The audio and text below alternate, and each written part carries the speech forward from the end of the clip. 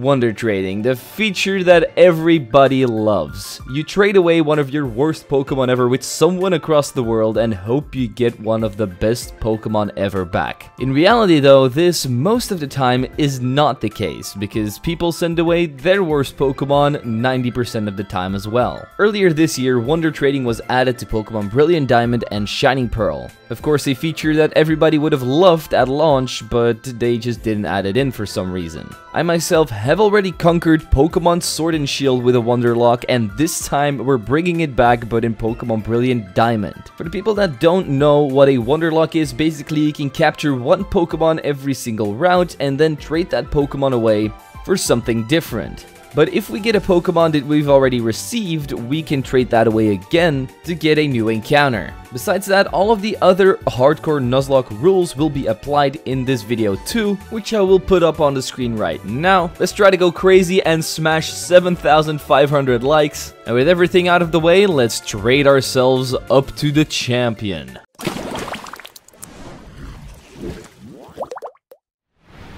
We get greeted by Professor Rowan and his little brother. We pick our name, which is going to be Koga, because when I first started this run, I was going to do a hardcore Nuzlocke with poison types. But then I thought by myself, whoa, Wonder Trading is now available, so let's do that instead. And we give our rival the only name that's possible for him, Barry. We watch this weird commercial on TV, we go downstairs to see our chibi mom, and then we also change around our settings and pick the best text window there is. We get violently attacked by our neighbor and interrupt Professor Rowan and Dawn's date. We then get attacked by some birds and instead of using the briefcase as a weapon, we decide to open it up and fight bird with bird. We then stumble upon Professor Rowan again, he doesn't really seem to care that we stole his Pokemon, and he even invites us back to his house, where we give our little penguin a new name, and Dawn then also kidnaps us because she wants to show us for the millionth time how to capture a Pokemon.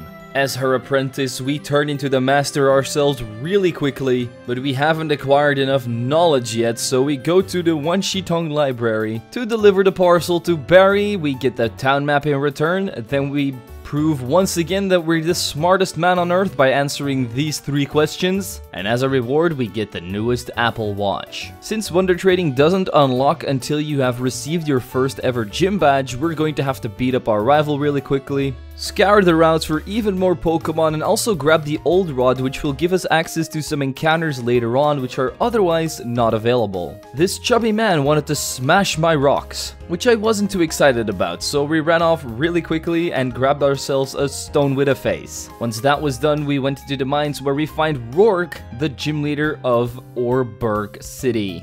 We eventually convinced him to stop breaking rocks and take my gym challenge since that's his job. And this gym is also the reason why I chose Pingu, because it's the only gym we really have to beat. And with Piplup's water attacks, this was super easy without any problems. We sweep through all of them and grabbed our first gym badge, unlocking Wonder Trading for us. So we walk all the way back to Jubilife City and go to the Wonder Trading Station. This is also the only way you can Wonder Trade, like you can't just access it from the menu. Every time you want to send your Pokemon away on a journey, you have to track back all the way over here, which I do think is a very stupid idea. Anyway, once we're inside, we do our first Wonder Trade and we say goodbye to our starter and it seems like we just traded with Roark because we get a Cranidos in return. We also get some other very important team members like Zubat, Wooper, but this Wooper is not just a regular Wooper, it's a Recover and Curse Wooper, so it can always heal itself up and set up which is something you love to see. We also get a couple more Pokemon, and eventually we marked 5 points on the map. So how do you get these points? Well, every time you trade with a person across the world, you cross off a country. And per country you cross off, you get a point. And then once you reach 5 or 10 or 50 or 100 points, you get more and more rewards. These rewards only consist of rare candies, but they are very useful at the end of the game and going to save us a bunch of grinding, since we'll be wonder trading quite a lot more. As you can see right here, we grab ourselves a Shellos, a Budew, a Ditto, a Starly, and eventually reach 10 points, giving us even more rare candies. We also get a Staravia, which I swapped out for my Starly, because if I can choose between those two, I will rather have the evolution. And as you can see from our boxes, this is what we're working with after our first bunch of Wonder Trades. Time to move on through the story. We help out the professor and his girlfriend by defeating the guys with the worst haircuts ever, and as I was leveling up my Pokemon, I ran into another issue. If you only have one gym badge in this game, Pokemon will only obey you up to level 10. So once they reach level 11, they will start to fall asleep, ignore your commands, hit themselves in their confusion even if they're not confused, and just borderline be absolutely useless. Which means we can't really start the hardcore Nuzlocke yet, because the next fight we had to do against Mars took me over 40 attempts to beat. My Pokemon were either too low level and I didn't want to level them up because then they would not listen to me anymore, or the Pokemon that were already past level 10 would just keep loafing around or falling asleep so that Mars could get some easy kills on me. After over 2 hours of attempting the same battle, we eventually managed to beat Mars which was only possible because it was using Growl on my Gible while it normally never uses Growl, and I could just Rock Smash it to lower its defense so that my Cranidos could ultimately come in and take it out with a single headbutt. That means that we're done saving the stinky old man that's working here, which means we can head on over to the forest to fight together with Cheryl, but our troubles are far from done because every single trainer here took multiple tries to defeat, because we still don't have our second gym badge, so our Pokemon still don't listen. Luckily, she has one of the most useless Pokemon ever, Chansey, who barely does any damage. After another hour or so, we finally make it out of the forest. I meet up with everyone's favorite champion, Cynthia. Except for mine, because I like Steven more. I honestly just hope that she's going to demolish Ash because there's no way Ash could actually beat her with skill. We also take a look at Pokemon's first ever fusion, this statue of Dialga and Palkia. And how cool would it be if they would actually release a Pokemon like this? And then I also finally put my old rod to use by fishing in the town itself. I grab a couple more encounters and head straight to the gym leader who normally should be a piece of cake since we have a Zubat on the team, but just like your little brother who doesn't listen to you and you say something to him, this Zubat also doesn't listen to me, just like my Staravia. And if you thought that the Mars battle took me a long time, this one took me about 20 attempts more than the Mars battle. I was actually driving myself crazy by dying, and then dying again, and again, and again, and again. Until eventually, Zubat decided to put in some work by taking out Cherubi and Turtwig with its poison fangs, which is something that had never happened before, because by the time Turtwig went out, Zubat would not listen to me and just die. Roserade is then going to be able to take out my Zubat. I bring in Geodude, which is always going to be able to tank a single hit with its Sturdy. So I try to do a little bit of chip damage with Smackdown, but that of course didn't work because he didn't listen to me. Staravia then came out and was able to hit two wing attacks in a row destroying the Roserade, and finally giving me my second gym badge so that all of my Pokemon will listen to me from now on. So now the Hardcore Nuzlocke starts. Now that we have access to our full power, we can beat the living hell out of Jupiter with Quagsire's curses and then just going for a Slam on Zubat and Skuntank to take both of them out, saving this entire town, which means that we can now grab ourselves the Explorer Kit to go underground, but we're not going to do much underground yet, except for capture a Swablu, and that's going to be our underground encounter. We do our first evolution, Hoothoot into Noctowl, then we flex with our new blue bike, and meet up with Dawn to grab the Versus Seeker, which could come in handy if we want to grind, but since we're going to have those rare candies, I don't think we're going to use it very much. We are pretty close to the trading station, so we grab ourselves a Bidoof, and an actual good Pokemon, Treecko, which is going to be our starter from now on. We also get a really cool Graveler which evolves into a Golem. And if you're just doing a regular playthrough, you can't really get Golem, so it was pretty nice to have this. But we can't even use it because its level is just way too high right now. We also get the 30 point mark done and get some more useful Pokemon like Houndoom and Shinx. I'll also show you my box to see what we have right now and see that little Magikarp over there, that could also become one of our most useful Pokemon. But before we unleash its potential, we go to Mount Coronet to see Cyrus. And I would actually love to know what your favorite evil team leaders are, since I feel like almost everybody has a different favorite evil team leader. My personal favorite is actually Archie, but not the regular Archie, the one that they remade in Omega Ruby and Alpha Sapphire. Not because of his beliefs, but because of his glow up. Like, he just became the most badass character Pokemon has ever seen, and he also has the coolest Megastone and outfit out of any character in any Pokemon game. Anyway, we move on with our journey and get attacked by a crazy rabbit in Hearthome City. We see the ghost-type gym leader, Fantina, but we're not going to be able to challenge her until we have 4 gym badges, which I think is very stupid because that means we have to do some backtracking. In my opinion, Pokemon Diamond and Pearl just weren't the best games out there. I don't really understand why they remade these games with all of these features and not just went with the platinum features and then built those up even more to create a new version of Diamond and Pearl. We then finally go inside, meet up with our mother who gives us a free tuxedo. So now we can go on very expensive dates, even though we're broke AF. As we then try to leave Hearthome City, we get stopped by Barry once again. But his team took the first train to Pain Town because my Noctowl's air slashes could one-shot every single one of his Pokemon Starly, Buizel, Ponyta, and lastly Grotle, grabbing ourselves an easy victory. And once the battle was done, my Treecko immediately evolved into Grovyle, which was nice. We then skipped through the next couple of routes and beat these two Ace Trainers, which are, at this point in the game, very hard to beat since one of them has a Gyarados. And I know lots of Pokemon have died to this thing. All of a sudden, we find ourselves in the department store where we find a bunch of TMs, which are going to be very useful to us throughout this entire playthrough. We try to convince Dawn that she should stop dating Rowan, but she storms off very angry, so we gotta hit the gym. We move these wooden pallets with our amazing strength and eventually reach the gym leader, Maylene. But you might have already realized that our team is full of flying types and things that are actually good against the fighting type. So this gym really wasn't too hard for me to get through. First off, we send out Noctowl against her Meditite, which we easily take out with two air slashes. Then we miss a couple of air slashes on the next Pokemon Machoke, but we managed to get it down to half health before we have to swap out Noctowl because otherwise it's going to take us out. I bring in Quagsire, tank a bunch of hits because I'm able to set up some curses, and then I just spam recover to get my HP back. Eventually we take out this Machoke, with an Aqua Tail, then her Lucario comes out, but he can't really do much damage to me since he only has physical attacks.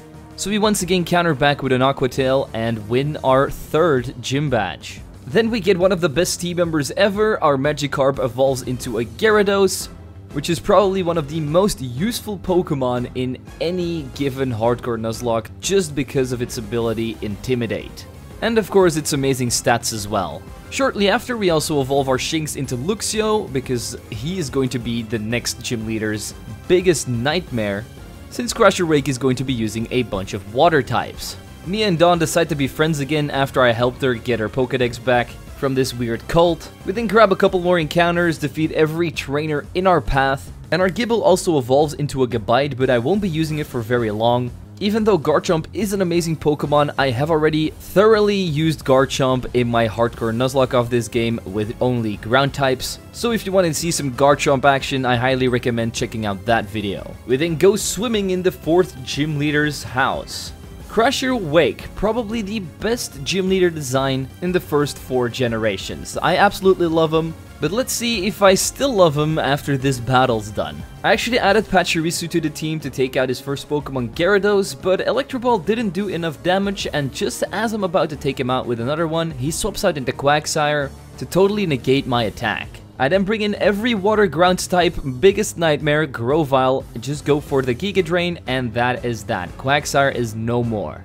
Gyarados comes back out, this time I go into Luxio and spark it to take it out, but it was also able to hit two crunches on me, bringing me down into red HP, so I have to swap out once he brings in Floatzel. I bring in Gyarados to lower its attack with my Intimidate, since it only has physical moves, except for Brine, which it's not going to use. It's barely doing any damage to me, and we can just crunch it to death, which earns us our fourth gym badge. In this game, they don't have enough time to blow up the Safari Zone, which is, I guess, a good thing, but it also means that you just have to follow this goon around, without actually knowing what he's going to do. Of course, while you're chasing him, your rival comes up to you and is like, Nope, I'm going to interrupt your good deeds by challenging you to a Pokemon battle with useless Pokemon. And with useless, I mean really useless, because he has a level 26 Starly. Just doesn't make any sense in my opinion. He hasn't changed his team up since the last battle, so Luxio can spark through the first three Pokemon, and Golbat can take out his ace Pokemon Grotle with some air cutters. Straight after the battle, our Luxio evolves into Luxray, we keep traveling to the lakefront where we meet up with Cynthia, who gives us the secret potion, but before we go and use that, it's time to do some extra wonder trades. First I get myself a Trapinch, which I was really happy about until I saw that it was level 58, which means I can't use it until the league, where it wouldn't be as useful. Then we get a Clefairy, and I thought this will probably be my Garchomp killer so I'm definitely keeping this one around. We also get a Munchlax, which we can evolve into Snorlax later on, to turn into our specially defensive tank, and then we also got some filler Pokemon who I rarely used. We then spray the Psyduck away with the secret potion, which I think honestly is just a repel. And then we get the old charm which we have to go and deliver to the old hag.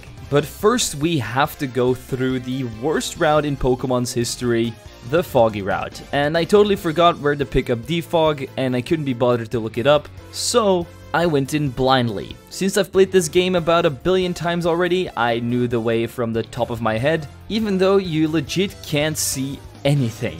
Once we reach Celestic Town, we get the HM for Surf once we talk to this wall. And then we see Cyrus. I was expecting a battle here, but totally forgot this battle is only in Platinum. So he just lets us go with a warning. I then pick up my first useful item, the Wise Glasses, and finally backtrack to Hearthome City to beat up Fantina. And I went into this fight without saving or without healing up. As you can see from my Houndoom's poison status and it only having about half of its HP which meant I immediately swapped out into Luxray, went for the Volt Switch, and then almost killed it. Going into Crobat afterwards and going for the Bite, but this was not enough to kill the Drifblim because it used Will-O-Wisp to cripple my attack.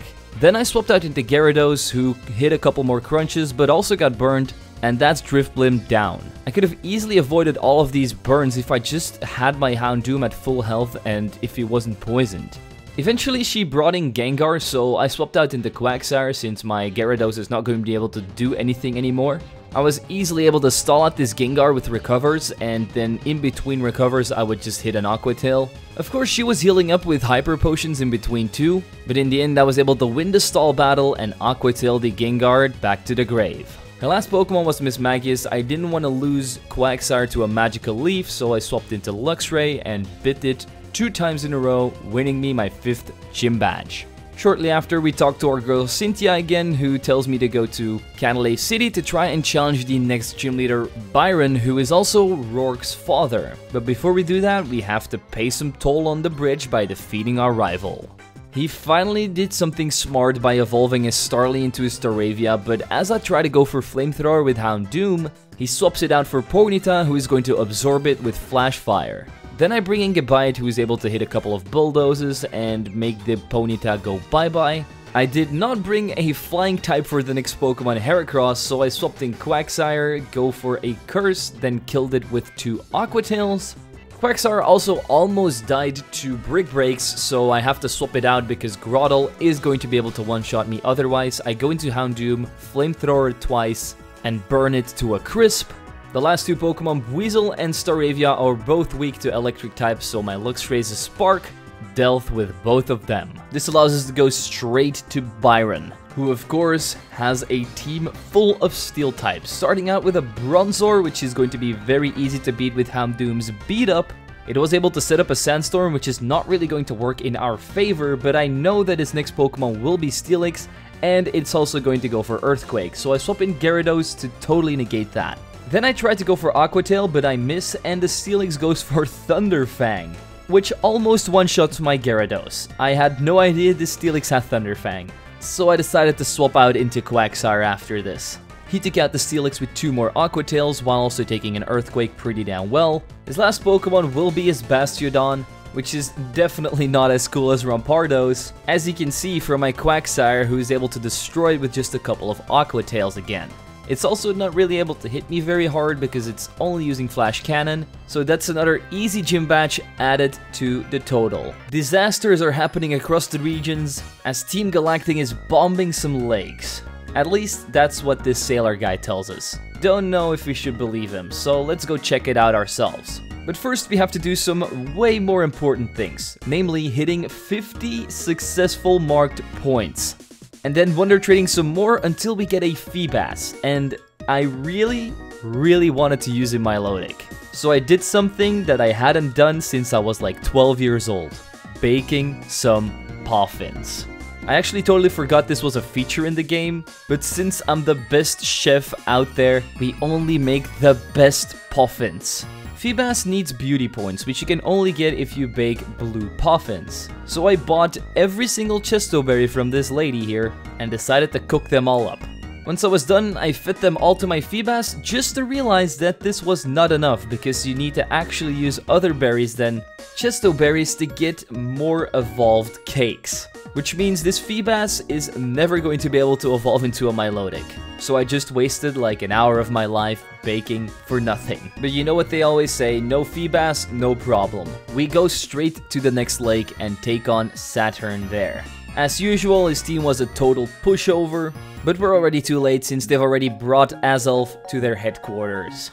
So we go to our hometown instead and go check out that lake, which is also already taken over by Mars this time. This time we didn't have to do two hours of attempts, just one was enough. But of course her operation has already captured Mesprit, so we're too late for these lakes. Let's hope Barry has a little bit of a better time in the snow. I totally forgot that you had to get strength from this lady in the spooky tower. And if you don't look it up, you basically have no idea where to get the strength HM so you can't progress. But it's time to put on your winter clothes because we're going skiing. And while we're in the snow, we also grab some extra encounters as well as the HM for rock climb which is still behind this little cabin here. Shortly after, my Cranidos evolves into a Rampardos, not that it really matters, but I just love Rampardos so I wanted to show it off. After almost freezing to death, we take shelter in the closest by building, which was Candice's gym, which is also cold. But we decided to heat it up with our Houndoom, which is actually the best choice for her first Pokemon Snover because a flamethrower is absolutely going to scorch that thing. I also tried to take down Sneasel with Flamethrower, but that didn't really work because it outsped me and went for a dig. So I swapped out into Gyarados instead, who could still just stake out the Sneasel with a single waterfall. Medicham then gave me the scare of a lifetime. I think I just became 20 years older because it went for Rock Slide, left me with 8 HP, and I thought that the hail was going to finish me off, but Gyarados somehow survived with 1 HP. So I went into Quagsire the turn after, took a Rock Slide, it decided to heal up, I went for two more Aqua Tails, and that's Medicham down. Her last Pokemon is of course going to be her Abomasnow, so I go back into my Houndoom, Flamethrower it once, and burn the big abominable snowman. 7 gym badges acquired, only one more to go, but first we have to go through a bunch of story. Since Barry doesn't evolve his Pokemon, he lost to Jupiter at the lake, so they managed to capture Uxie as well. We then go back to do some extra wonder trading, and I managed to get myself a Machamp. He was even at an appropriate level so that I could use him, so I decided to swap him out for the Machoke that I already had. We confront this Team Galactic member and punch the work ski out of him. Also finally evolve our Grovyle into a Sceptile. In the basement of the Team Galactic headquarters we find a Galactic Key, and I also didn't add in the best thing of Pokemon Platinum, Cyrus's speech so we just have to go and walk up to his office, knock on his door, and beat his ass. But he has one of the worst teams an evil leader has ever seen, so Luxray can easily take care of Murkrow and Golbat, and it's also time for Machamp to get his first kill on his last Pokemon, Sneasel. As a reward for defeating the worst team in the entire game, Cyrus decides to give me a Master Ball. Saturn got destroyed by Houndoom's flamethrowers and beat up, so that was easy too. And then we free our three psychic friends with a click of a button. We then reach the top of the Spear Pillar where Cyrus is obviously constructing his master plan. He's found Dialga, put a red chain on him, and he's trying to make the world more colorful it seems like but we don't want him to change the hue and saturation around here, so we decide to go in and try to take him down. But first we get stopped by his two adamants, luckily we have Barry on our side to help us take both of these characters down. And despite my rival here having a level 42 Buizel, I'm sorry Game Freak, but why? We still managed to overpower the duo with the strength of our Gyarados. Just as Dialga is about to create the perfect new world, our three Lake Guardians come in and save the day. That's right, we didn't even save the day, they did. Although we did rescue them, so I suppose we did kinda save the day.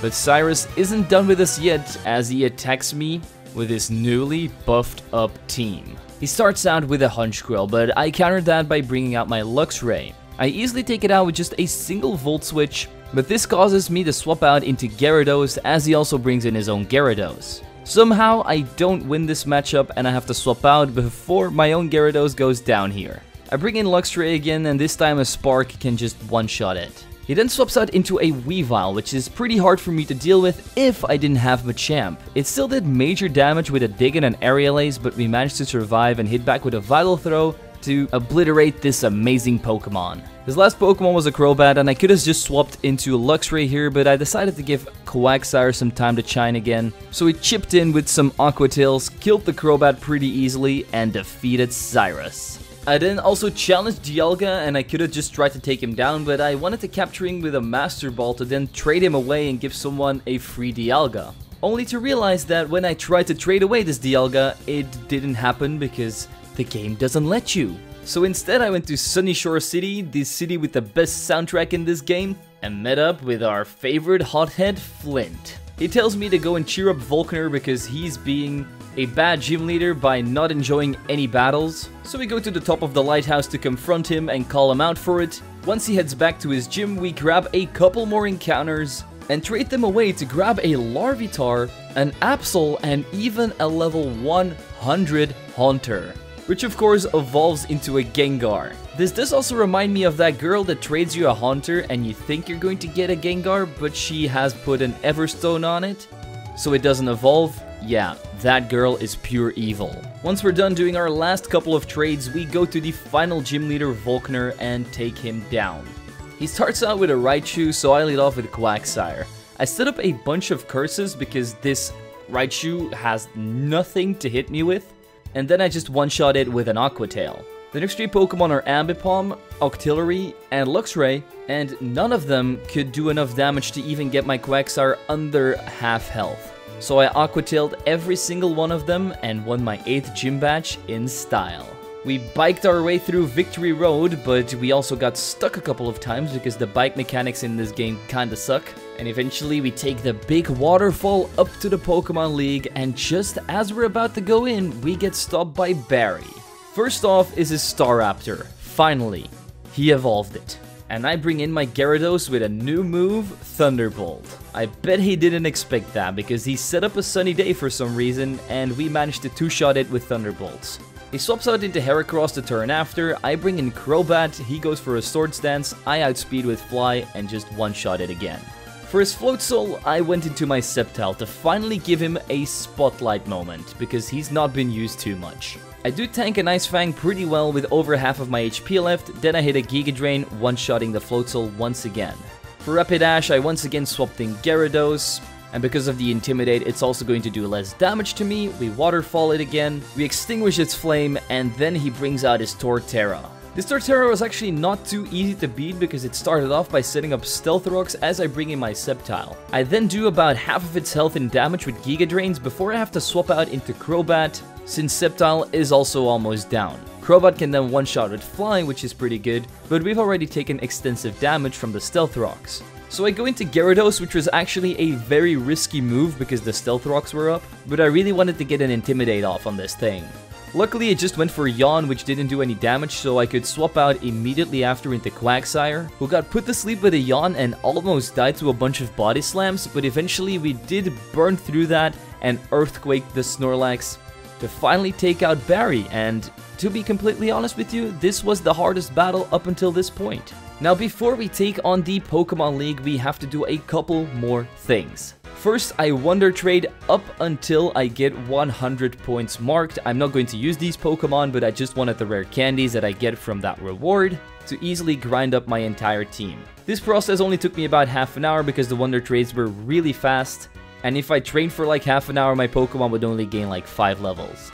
Then I went back to Mount Coronet, used Thief with my Crobat a bunch on Clefairies until I managed to snag a Moonstone off of one of them. I then used this Moonstone to evolve my own Clefairy into Clefable. Then I went to this lady to give my Munchlax a massage so it could easily evolve into Snorlax after.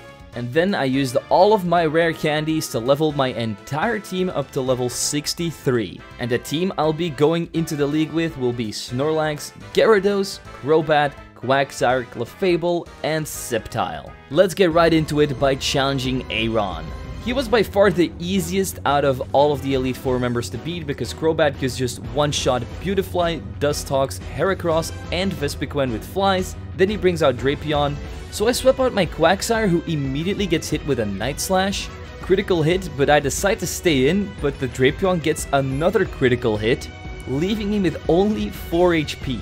That was actually super lucky because now we can just Earthquake Drapion, take it out, but if we would have lost Quagsire here, the run might have actually been over. The next trainer we have to beat is Bertha, and this is the reason why I brought Sceptile. He took every single one of her Pokemon down with Giga Drains easy peasy. Some of them survived because of their berries or their sturdy ability, but they couldn't do enough damage to one-shot my Sceptile and I would just always get my HP back with Giga Drain anyway. Bertha down. Time to challenge Flint. The road to win the battle against Flint was very bumpy because he started out with a Rapidash and put my Gyarados to sleep.